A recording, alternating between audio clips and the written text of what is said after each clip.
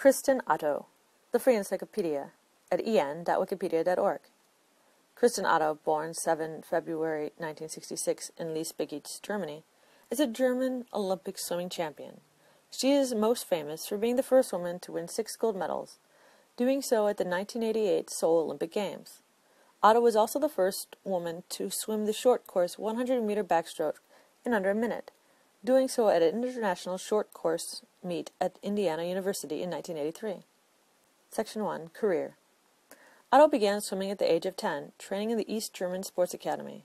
Age 16, she participated in her first World Championships, the 1982 World Aquatic Championships, winning the gold medal in the 100 meter backstroke, as well as two additional gold medals in the 4 by 100 meter relays with the East German team.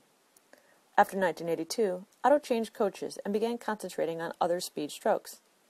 At the following European Championship in 1983, Otto finished second in the 100 meter freestyle behind fellow East German Birgit Meineke. In 1984, Otto set a world record in the 200 meter freestyle.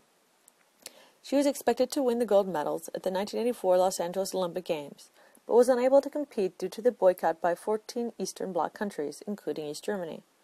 In 1985, she fractured her vertebrae, rendering her unable to compete for most of the year or attend the European Championships. Otto returned to competitive swimming in the 1986 World Championships in Madrid, where she won four gold medals the 100 meter freestyle, 200 meter individual medley, 4 by 100 meter medley relay, and the 4 by 100 meter freestyle relay, and two silver medals 50 meter freestyle, 100 meter butterfly. Her success continued the following year at the 1987 European Championships, where she won five gold medals. At the 1988 Seoul Olympic Games, she once again was expected to win Olympic gold. She won six medals, as well as setting world records in the 50 meter freestyle, 100 meter freestyle, 100 meter backstroke, and 100 meter butterfly. Otto retired from swimming in 1989. She currently works as a sports reporter for German television.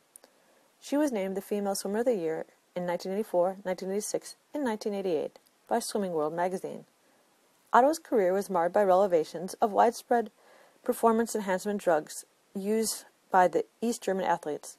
Former teammate Petra Schneider openly admitted that she was using banned substances. However, Otto stated that she was not aware she was being doped, saying, quote, The medals are the only reminder of how hard I worked.